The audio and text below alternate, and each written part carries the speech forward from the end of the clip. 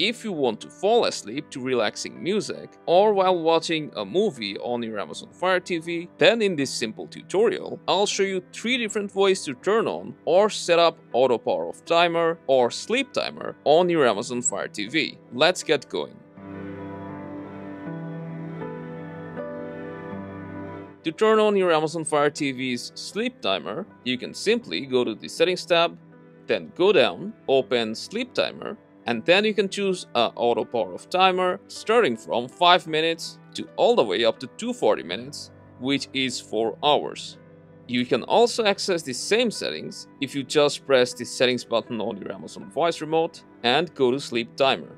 After setting a sleep timer this way, you can view it if you just press the settings button to open the side panel. And here you can see how much time you have left. When there's 1 minute left, you'll also get a reminder at the bottom right corner of the screen.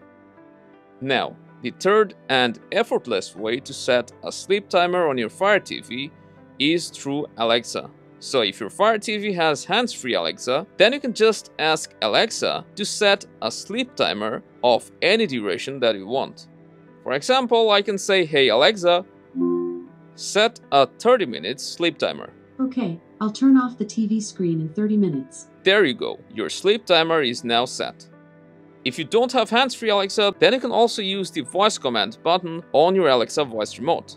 Now to view the timer that you set using Alexa, just ask it again by saying, Hey Alexa, show me the sleep timer. About 27 minutes left and now you can see how much time you have left. So go ahead and fall asleep to your favorite music or your cozy movie without worrying about wasting electricity. And don't forget to drop a like, subscribe, and I'll see you around.